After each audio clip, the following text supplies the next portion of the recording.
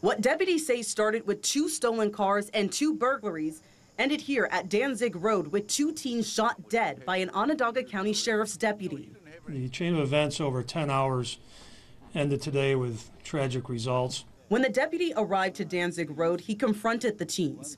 One car fled the scene, but a Hyundai with three teens inside remained, who, according to the sheriff, attempted to run the deputy over. That's when the deputy took out his weapon and shot three times at the car moving towards him.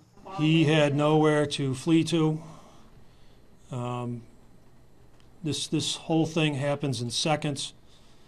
Uh, he had almost, he had, he had no options. Despite the deputy having a body camera on him, it was not switched on. He most likely didn't have time to put that body camera on. You'd have to put yourself in his shoes and watch that video before you question whether or not he had his body camera on. However, neighbors in the area had surveillance video to piece the story together. I don't know what he saw. I can only tell you that I've watched the video.